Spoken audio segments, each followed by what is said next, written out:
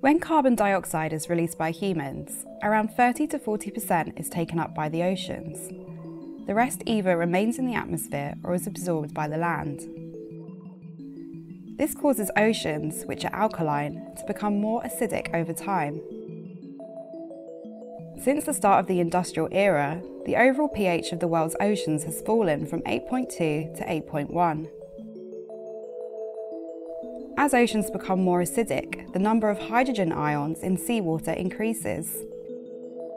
Some types of coral have a hard outer skeleton made out of a compound called calcium carbonate.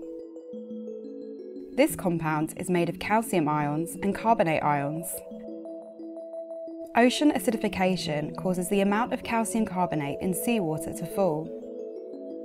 This is because some of the carbonate ions that normally pair with calcium to form calcium carbonate instead pair with hydrogen to form bicarbonate.